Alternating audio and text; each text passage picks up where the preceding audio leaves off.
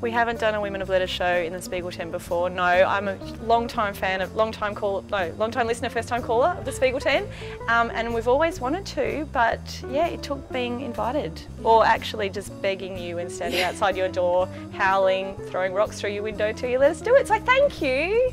We're really interested in doing our show in as many different spaces as we can. So we've already done in outdoor theatres, uh, tents at music festivals, not as nice a tent as a tent. Um, or Not as many hungover people wandering and going, is in this the doof? Yeah. um, so we're looking forward to seeing how the show translates to a different space, and we are doing something a little bit different to sort of reflect that. We did a show in Perth in, um, in a beautiful outdoor garden. Of course, it rained 20 minutes, the only 20 minutes of rain that Perth had had, I think in probably 50 years or something, but it was right on our show. So I think just even having a roof is exciting.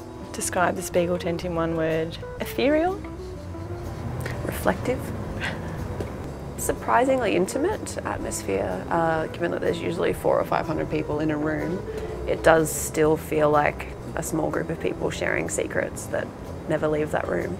There's a father and son who I think who've never, as far to my knowledge, appeared on stage together or certainly not speaking to or about each other and I think they're going to be quite um, magical. They're going to bring a bit of, I don't know, sentimentality to the evening and there's a couple of there's a rock and roll streak involved, I think. We might have to tackle a couple of people from the stage. There's a couple of loose cannons, a pair of loose cannons.